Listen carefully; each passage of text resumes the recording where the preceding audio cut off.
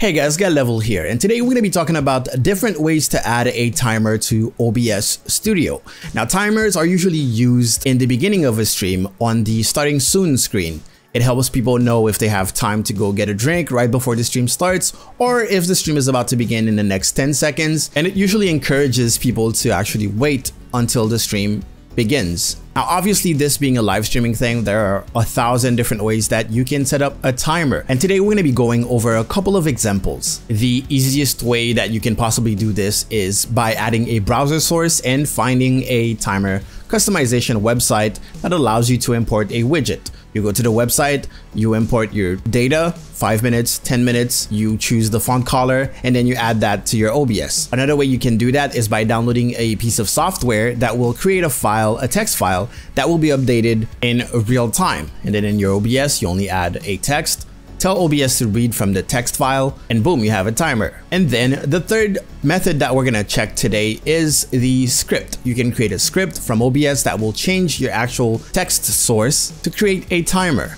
Let's get right into it. So as a good example of the browser source method, there's this website, streamerific.com slash stream countdown. And right here you have an article about timers and everything. And right here you will find a customizable timer. Here you can put how much time you want to display until it goes down. You can center the text, left, right, and then put a text at the end of the timer. What will display? I just put live and then you can play around with the font size. Obviously, if you have a specific font color that you want to display, one from your color scheme, hopefully that's good. Uh, the default background color is transparent, but you can also add your little hex code to match your color scheme. And then all you have to do is click get my timer.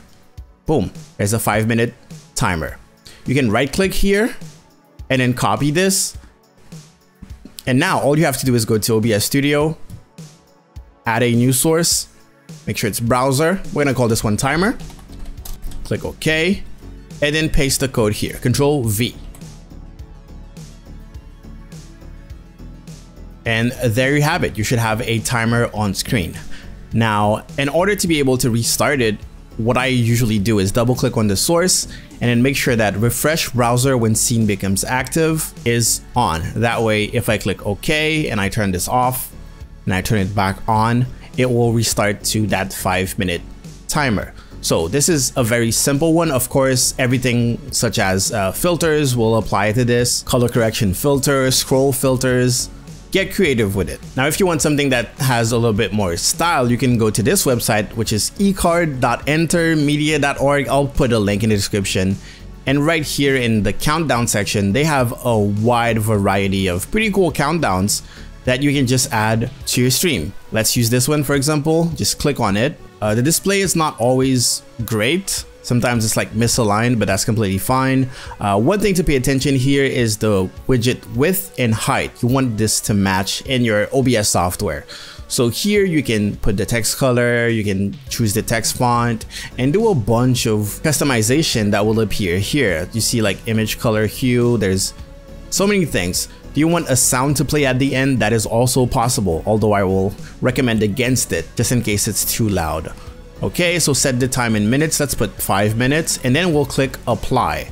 Once we click apply, it will reload the scene, put a timer of five minutes, and then we can copy the link here. The first link that shows up is not the good one. You need to click apply before you can actually get the correct link. And now we can go back to our OBS studio. I'm gonna double click here and make sure I set my height to 800, just like it says here. And now I can just paste the code here. And uh, since those are a little more complex, sometimes there's a little loading before you actually get the timer. So that is something to keep in mind. And since the attributes like refresh browser when scene becomes active are still applied here, you can turn this off and turn it back on to get uh, the timer to restart. In that case, we didn't get the background at all, but you, you will have to play around on the website to find something that works, basically. Uh, I've tried a lot of them. There's some effects. There's a lot of really cool things on this website. Link will be in the description. Okay, so we checked out those browser source timers. What we can do right now is check out the other examples that I gave. Let's go with the script for OBS. For example, this one is called um, Countdown Adaptive Timer. So all you have to do here is click download. Okay, it will download this file and don't try to open it. And then here in tools, you will go to scripts and right here you will find the little plus button that is to load a new script. And then go find that script that you just downloaded. It, it'll be in your download folder. You can see it's right there. You can click open and it shows up in the list here. You click it once and now you can actually have your timer. So how many seconds is five minutes? Alexa, how many seconds is five minutes? Okay, my Echo just told me that it's 300 seconds. So boom. And I forgot a step. Uh, you actually need to add a text, sorry. text GDI, okay. This is gonna be timer text. Click okay. Let's just put this. Okay, so you create a text. You can type whatever you want in here. And then you go to script. And here where it says text source, it should appear in the countdown and the drop down, sorry.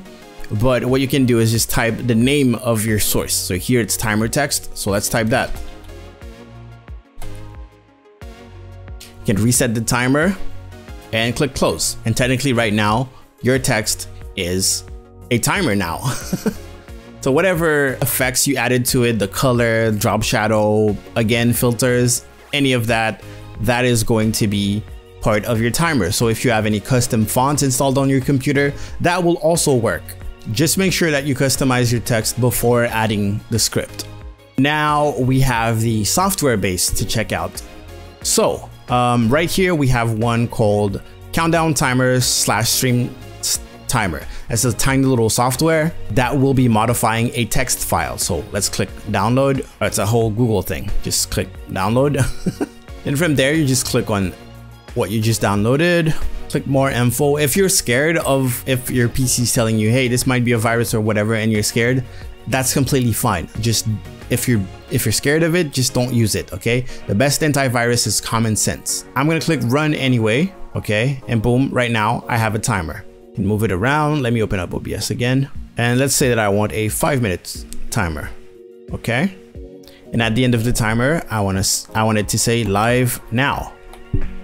Okay, so now we just create a new text GDI source. Call this one timer program. Click OK. And now we're actually going to tick read from file. And we're supposed to find a file.txt right near where the software is. And indeed, there's one called timer.txt. We'll click open. Okay. As you can see, it's reading from that file that this little software created. So if I click start, now I have a timer. Of course, the downside of using a software is that the software needs to be, you know, active and open. And I understand if, you know, you don't want to have more stuff opened up on your computer. There is also the automatic start feature. I'm not completely sure what that means, but I guess like when you open up OBS, it starts. I don't know. And now you know how to add all the different timers that you possibly can in OBS Studio. Um, I'm gonna put that little browser source thing. So at the bottom right, you should see some sort of social media pop-up. This is not my social media account, but this was my previous tutorial on how to get that little pop-up both on stream or on your YouTube videos if you're using uh, a broadcasting software to record your videos. So uh, go check that out if you're interested. I also give out a free template that goes with it that you will find available for free at gumroad.com slash level alongside a bunch of overlay packs, animated, non-animated, templates for YouTube banners, but also full animated Twitch overlay packs and everything. But as usual, if you have any questions, uh, leave them in the comment section below. Please join the Discord if you have more questions about streaming in general. There's a thousand of us in there. I'm sure we will be able to answer you. And I will see you guys next time. Thank you so much once again for watching. Go out there, make me proud, Gael Level out.